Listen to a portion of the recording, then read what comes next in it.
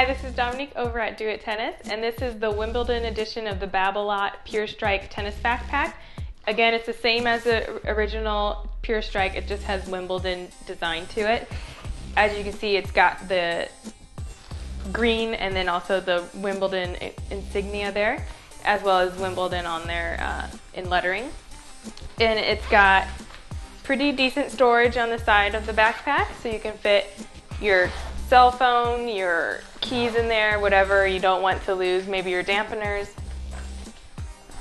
And then there is a front pocket that you could put your your tennis shoes in, your clothes, whatever you really want to put in there. There's plenty of room. It kind of opens funny though, so if you have smaller items, you may want to put them in smaller pockets so they don't get lost or fall out of the bag.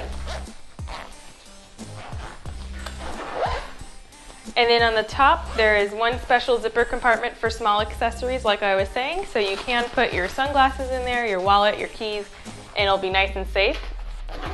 And then the back is where you would keep the racket. It opens up, and then there is a handle cover, so you can put two tennis rackets in here, but one will be protected with the racket handle cover. And then I just want to point out where the little Wimbledon insignias are. There's one here, here, on the back, there's one here, as well as on the strap. And again, this is the Babolat Wimbledon Pure Strike Tennis Backpack.